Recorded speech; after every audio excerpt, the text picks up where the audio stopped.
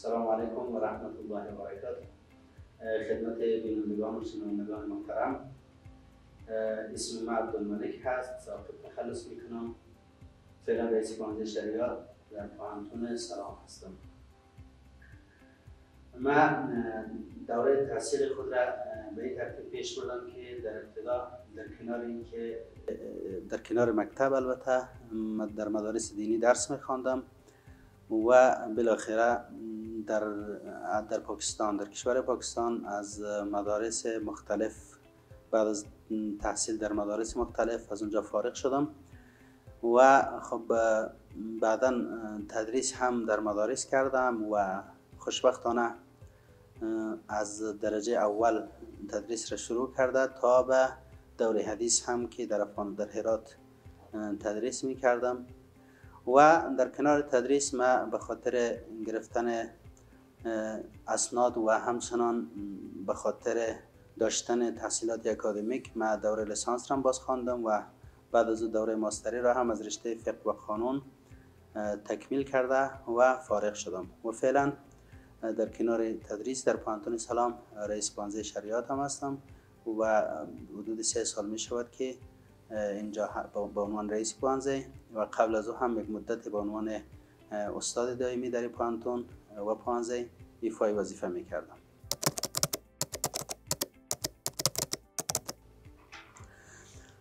در مورد ای که یک کسی یک رشته تحصیلی را می‌خواند یا علاقمندی به یک رشته تحصیلی خاص می داشته باشد و علاقمندی خود بیان می کند و خوبی های او رشته را بیان می کند هرگز به معنای فروکاستن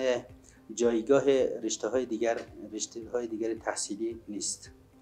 انسان به عنوان خلیفه روی زمین و به عنوان به عنوان موجودی که خداوند را مأموریت داده است تا زمین را آباد بسازد و ای را قابل زیست برای خودش بسازد و از منابع استفاده بکند و خب ای را به عنوان یک توشه برای آخرت خودش داشته باشد انسان موظف هست که در تمام رشته های تحصیلی در تمام رشته های علم و دانش دستاورد داشته باشد رشد بکند بخواند و انکشاف پیدا بکند.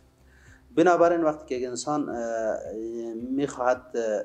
یا علاقمند هست به یک عرصه خاص تحصیلی و یا یک رشته خاص تحصیلی تحصیلات دارد هرگز به این معنا نیست که رشته های دیگر به درد نمی‌خورند. تمام رشته ها لازم هستند. تمام رشته های تحصیلی را باید انسان به صورت در... انسان ها به صورت درست بخوانند. ولی چون یک کس نمی‌تواند که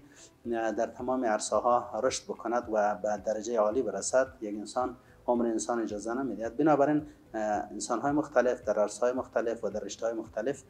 پیشرفت می داشته باشند. خود ما رشته تحصیلیم شرعیات است و علتش می بود است که خب ما در یک خانواده بودم به دنیا آمدم و بزرگ شدم که وابسته به علوم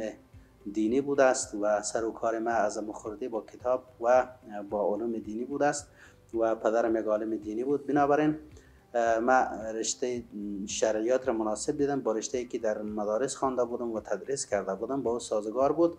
و در از جانب دیگر ما در یک جامعه اسلامی زندگی می کنیم و جامعه اسلامی یعنی کسانی که در اونجا زندگی می کنند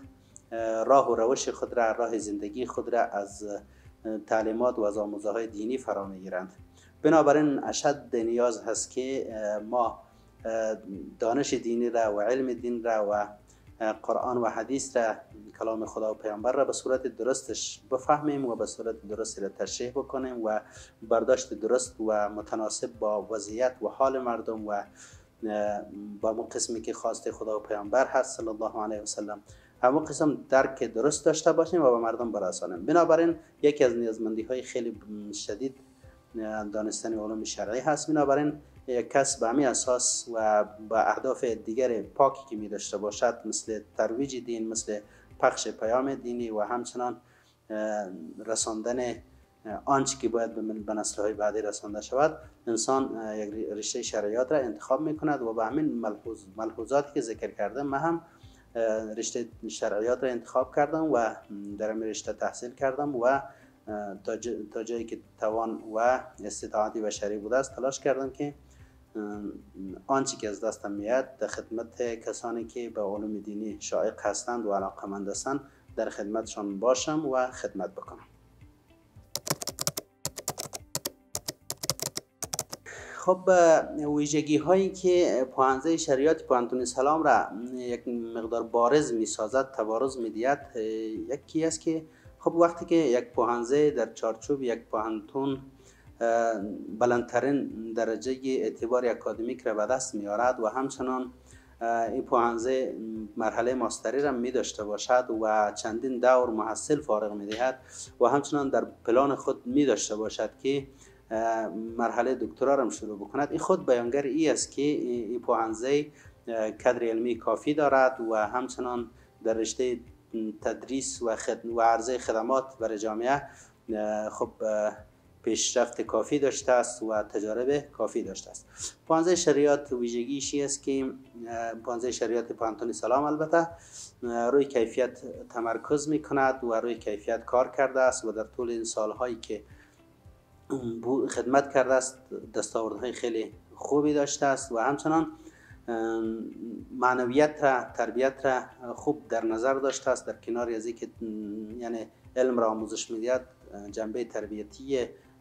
دانش آموزان را هم مد نظر دارد و در این ها تلاش می کند و بود اخلاقی و معنوی برش در اولویت قرار دارد و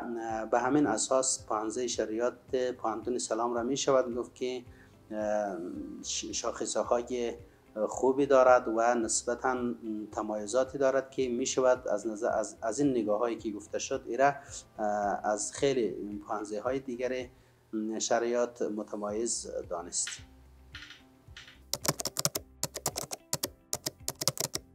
خب اما پوهنتون سلام که پوهنزه شریعتی که من مسئولش هستم در چارچوکات پوهنتون سلام کار می‌کند. پوهنتون سلام هم از, از بد و تأسیس تا به امروز یک هدف داشته است یک برنامه داشته است و اون همانا رساندن علم و دانش و ارزش های معنوی معنوی ملی و دینی برای جامعه اسلامی و جامعه افغانستان بوده است. پاهنتون سلام خب همیش با, با داشتن شعار رسانیدن پیام و رسانید و ترویج علم و دانش فعالیت کرده است و هیچ وقت هدف اساسی و اصلی پاهنتون سلام تجارت نبوده است. پاهنتون سلام هدف اساسی و اصلیش ترویج علم و دانش هست و کار در بعد معنوی و اخلاقی هست. از همون روزی که پوهنتون سلام تأسیس شده است تا به امروز این موضوعات را مد نظر داشته است و این از دانسته می شود که در همو شرایط که خب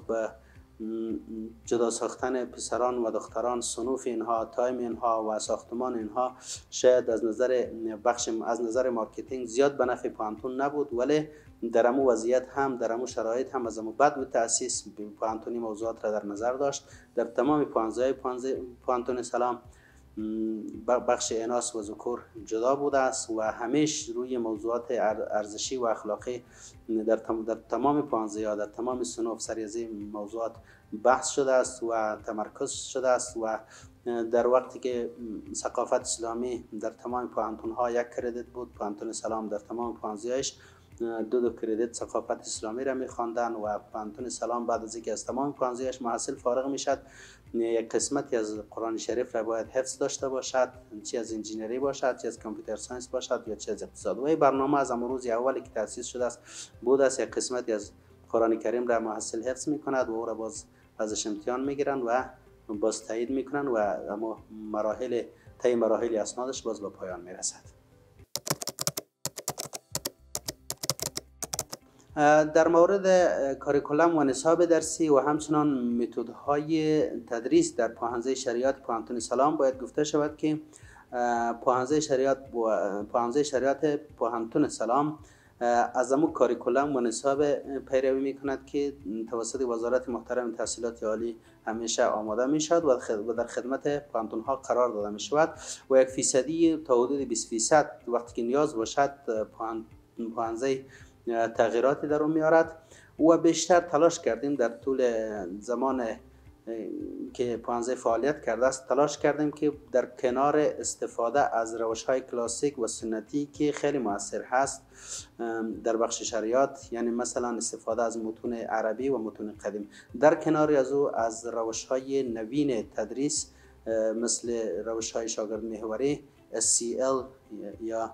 OBC Outcome Based Education OBE از روش های SCL یا OBE زیادتر استفاده شود و در کنارش چنانچه گفتیم از منابع اصلی و دست اول تلاش بکنیم که محصل را با منابع در ارتباط و مرتبط نگه داریم. چون رشته شریعت را نمی شود که با بریدن محصل و نداشتن رابطه با منابع اصلی و منابع دستی اول عربی و متون قدیم به صورت درست و اساسی یاد گرفت و درست خواند بنابراین پانزه شریعت همیشه تلاش کرده است که همین دو اصل را هر دوش را مد نظر داشته باشد و محصل را تقدیم جامعه بکند که در کنار آشنایی با متدهای جدید تحقیق و تدریس از, از متون قدیم و متون اساسی و اصلی شرعی هم بتانند استفاده درست بکنند.